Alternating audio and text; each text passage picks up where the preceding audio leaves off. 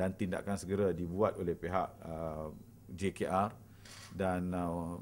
dan akhirnya pihak menteri sendiri telah memberi satu peruntukan khas. Saya ucapkan terima kasih kepada pihak uh, menteri uh, Datuk Seri Fadilah yang memberikan peruntukan khas dan uh, alhamdulillah pada hari ini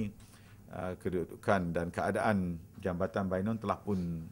uh, kembali pulih dan berada dalam keadaan yang sedia kala. Saya mengharapkan pada pengguna-pengguna jalan raya uh, agar kita dapat menjaga uh, jambatan ini dengan sebaik-baiknya dan juga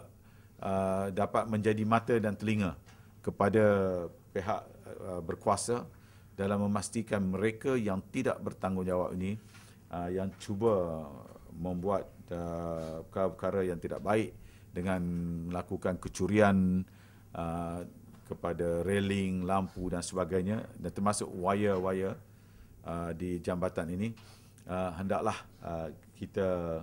uh, perhatikan dan uh, menangkap mereka uh, dan dibawa ke muka keadilan.